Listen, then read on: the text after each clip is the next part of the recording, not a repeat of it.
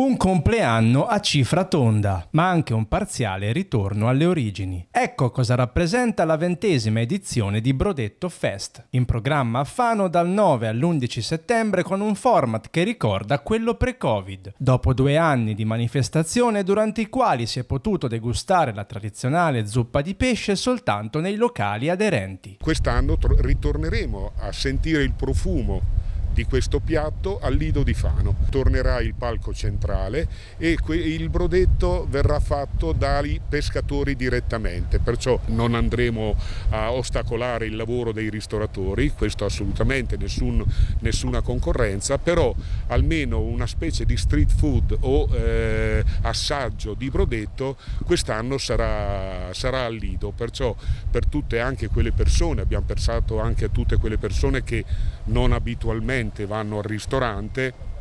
avranno la possibilità di venire al Lido, assistere a dei interessanti talk show, eh, cooking show di, di, di, di grandi chef, beh, eh, oltre a questo avranno la possibilità di tornare ad assaggiare il brodetto fanese fatto dai pescatori e questa secondo me è la cosa più importante. Organizzato da Confesercenti Pesaro Urbino e Comune di Fano, Brodetto Fest alzerà il sipario alle ore 19 di venerdì 9 settembre, poi via con gli incontri, le degustazioni, i cooking show con grandi nomi dello spettacolo come Gianmarco Tognazzi, Alessandro Cecchi Paone, Vinicio Marchioni e l'immancabile Federico 40, ma soprattutto con gli chef che hanno fatto la storia della cucina italiana. Anche quest'anno spazio alla pizza e alla moretta fanese, senza dimenticare i laboratori per bambini di Brodetto Kids, la Brodetto Cup di Windsurf, le uscite in barca e le escursioni di Brodetto Tour. Il Brodetto è la storia della nostra marineria, tutti sanno che nasce nasce proprio dal risultato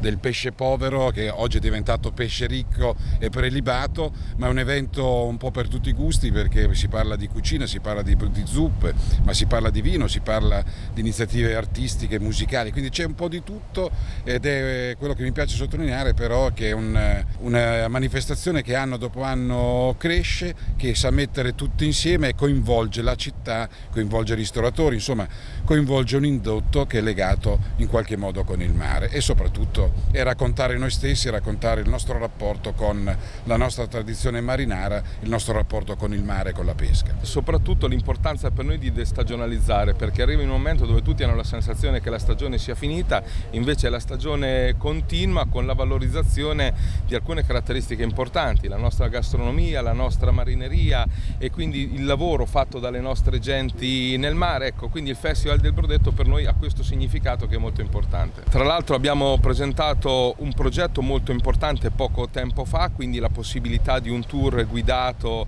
e di visita al nostro porto e alle tradizioni marinare. Tra l'altro durante il Festival del Prodetto ci sarà una novità rispetto a questo tour perché ci sarà un mezzo con dei video che racconteranno questo particolare luogo e questa particolare tradizione della nostra città e sempre all'interno del Brodetto presenteremo un altro progetto, un altro cluster della nostra città che fanno gastronomica e sarà sarà una rete dei ristoranti del mare che vogliono valorizzare il pescato dell'Adriatico, le nostre tradizioni, quindi la possibilità di inquadrare dei ristoratori, dei cuochi ehm, e eh, le possibilità per i nostri turisti ma anche per i cittadini della nostra città di andare in dei locali che eh, insomma avranno un marchio di tutela per le nostre tradizioni. Un giro di boa tutt'altro che simbolico quello di Brodetto Fest che consente a Confesercenti di constatare il raggiungimento di alcuni importanti importanti obiettivi. Prima di tutto di allungare la stagione turistica eh, di almeno 15 giorni, eh, almeno fino alla metà di settembre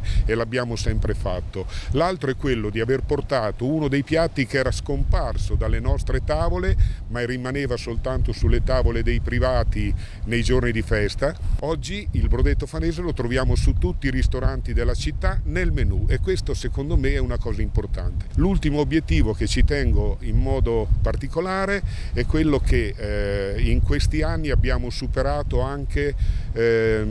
diciamo, la diffidenza della città nei confronti eh, del piatto, nei confronti di questa promozione. La diffidenza era dovuta al fatto che veniva effettuato nei periodi di fermo pesca, perciò eh, io sono orgoglioso che oggi questo evento sia diventato uno dei primi eventi della città di Fano e questo è già tanto, ma non solo, quando andiamo fuori da Fano, andiamo in altre zone in Italia, quando parliamo di Fano, la prima cosa che ci dicono che viene in mente è Brodetto, dopodiché viene Moretta e la terza parola è Bianchello del Metauro. Questo vuol dire che abbiamo lavorato bene in questi 20 anni, nel 2003 avevamo due tavolate sotto la pioggia al Pincio di Fano è iniziata la storia di, un, di, una promozione della città, di una visibilità che si è stata riconosciuta a livello nazionale e internazionale.